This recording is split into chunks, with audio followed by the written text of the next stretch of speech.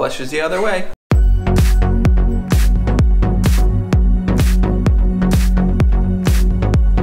And welcome back to another video. So we're continuing our Australia series. Our last video was about, Australian slang words or just Aussie terms that we didn't know. yeah, it's Australian slang.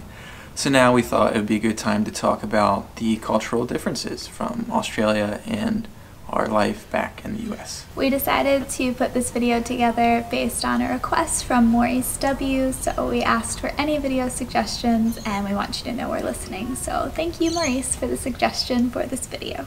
So as you saw in the intro, indeed the toilet does flush the opposite way in Australia compared to the US. But let's get into some serious points here. So I think what we're going to start out with is talking about work differences. So what work has been like here in our six month contracts compared to back home, our careers in the US. So I started working in Australia in November of last year. So it was around the holiday time. And yeah, it was pretty low key, pretty laid back. Uh, people were still obviously focused on projects, but at a bit slower of a pace. And then things definitely picked up come January. So I think that was pretty different. Back in the US, it's go, go, go all the time, even though it does slow down a little bit in the holidays. It was a nice, relaxed pace here in Australia. And I started my role in October of last year. Unfortunately, mine's come to an end. But when I was there, it was the first job in my professional life that I got in at nine and left at five, and that was encouraged. so that was really nice and different. And I would just say that the workplace culture in general is a lot more relaxed and casual, just in the way that people dress and the way that people carry themselves and talk. It's much less buttoned up and professional. I think in the US there's kind of a bit more of a professional persona, and here it just really seemed like people were kind of themselves. So honestly, it took me by surprise at first, but it was kind of nice once you got used to it. Yeah, something you can get used to. Yeah. I think, and I don't know if just because we were doing working holiday visas and not our long term careers back home, but back home, you know, work was usually always on the mind. We were stressed after work coming home. Oh, I had such a rough day. But here, once you get home from work, we honestly never really thought about it until we were back the next day at nine. So I think that says a lot about our experience working here. I think priorities are different here. It just seems like there's much more of that work life balance that Americans strive so hard to reach. Yeah. It just comes naturally here. It's much more accepted. It's great. And I guess another big difference from the US where we lived on the East Coast and Australia is the weather. So, not too many rainy days. We have not seen snow yet since we've been in Australia, mm-hmm. and it's just been really nice. And we did have, We don't miss it, not Yeah. at all. I mean, there were bushfires, so that was this. I don't know. People had never seen it in their whole lives, and of course, we got here at that time, so that was an outlier. But Yeah. mostly, it's just been not too humid, sunny. Yeah, and I'm loving the weather right now. We're in, what, May, almost May, April, Mm-hmm. mid April. It's cool. It's like fall back at home. Yeah. Really enjoy it. The weather's great, so great. Don't miss the cold Yeah. at all. Now, cold for us is like 70 degrees Fahrenheit. We're so, babies. Yeah. We've had an eternal summer for a year. It's the way to do it. kind of going along with the workplace differences, just the entire attitude towards holidays and vacations is a lot different here. Mhm. So I know schools get a lot more school breaks during the year. Their schedule's a little bit confusing to us, to be honest. Yeah, it's not like one big summer. You No. get a lot of frequent breaks, which Yeah. is what they're used to. Yeah, and it's completely standard and normal to get four weeks vacation time. Standard entry level um, for the whole year. I think we got, I got a lot of comments about how do you make two weeks of vacation a year work? How can they do that? How is that possible?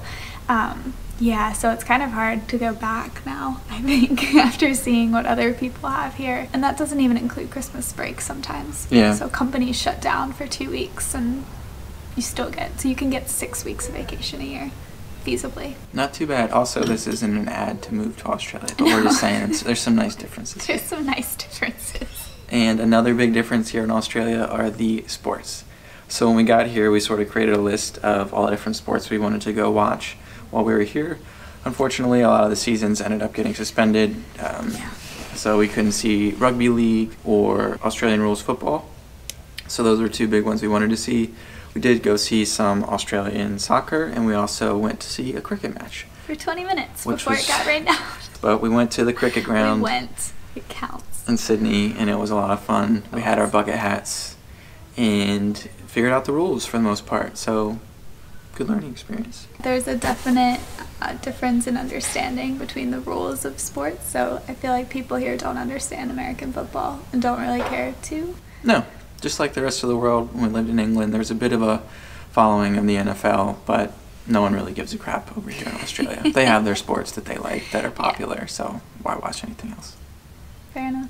Maybe when we're back in Australia, whenever, who knows when, but we'll be able to see some Aussie rules football and some rugby league. That'd be nice. So those are some some of the major sports. So another big difference is the food here in Australia. As you know, Jenny and I love to eat, and we definitely explored explored the Aussie food scene here um, compared to the U.S. So of course, being in a large cultural hub like Sydney, there are so many good types of food.